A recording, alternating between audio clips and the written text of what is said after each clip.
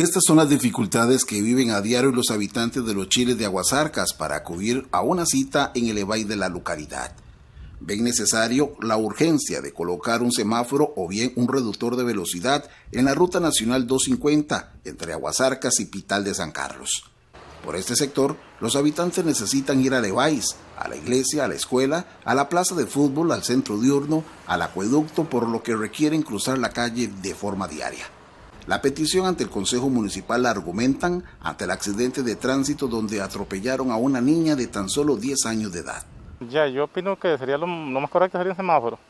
Y si es necesario, claro que es necesario. Bueno, lo vimos ahorita que venía con mi suegra, que es difícil, es difícil poder pasar la calle. A este lado no hay casi espacio en, el EVAIS para el parqueo, entonces tuve que parquear al otro lado y tenemos problemas. Igual muchos chiquitos viajan a la escuela y tienen que cruzar.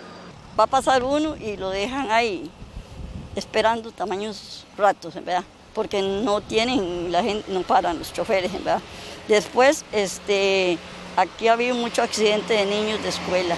Del adulto mayor, una cocinera murió aquí. Y ha habido muchos, muchos accidentes. Aquí necesitamos urgente que nos den un, paso, que haga paso, no sé, un semáforo, algo, ¿verdad? Porque a uno le da miedo cruzar la calle aquí. Eh, la gente no tiene fundamento de andar en los buses, digamos, en los carros y en las motos. Yo un día vine aquí y venía con la chiquita, con la otra que tengo ahí, este, y en lo que yo iba pasando, uno del carro hizo parada, pero el otro no, el otro se reempujó. Y nosotros quedamos, yo y la abuela quedamos en medio de los dos carros. Yo no quiero que sigan habiendo accidentes aquí en el pueblo. Sería bonito como que que ellos respeten cuando uno cruza y cuando no, no hay carro hay que pasar, cuando hay carros hay que ya una hora se para uno aquí, esperar que pasen todos, hasta que pase el último puede pasar uno al otro lado. De acuerdo con los habitantes de los chiles de Aguasarcas, ese trayecto es considerado como uno de los más peligrosos para los peatones.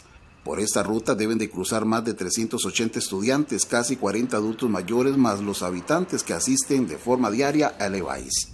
Es por ello que la regidora Ashley Brenes presentó una moción, la cual fue aprobada por sus compañeros regidores, para solicitarle al Departamento de Ingeniería de Tránsito la posibilidad de instalar un semáforo o bien un reductor de velocidad en este sector.